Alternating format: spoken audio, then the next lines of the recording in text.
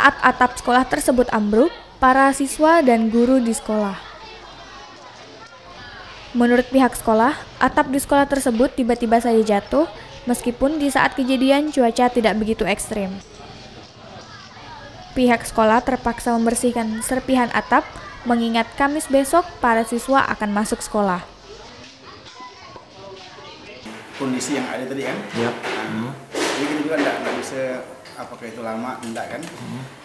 Kita sekarang sedang memperbaiki yang yang lama. Nah, mengganti, mengganti atap yang lama, kita perbaiki.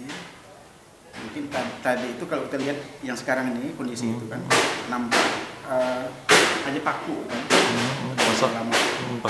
Nah, jadi mungkin yang di waktu rehat ini lupa mengecek itu sehingga itu dianggap dianggap sudah sudah apa eh, sudah fresh lah ini tahu mungkin itu penyebabnya nih dari itu dari, dari yang depan ini ambruk sehingga yang lain itu ikut Ah, ah.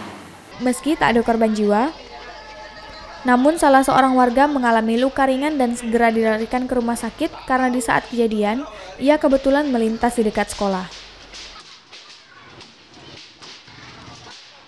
Dika Febriawan, Dion Firadistiawan, Ruai TV, mewartakan.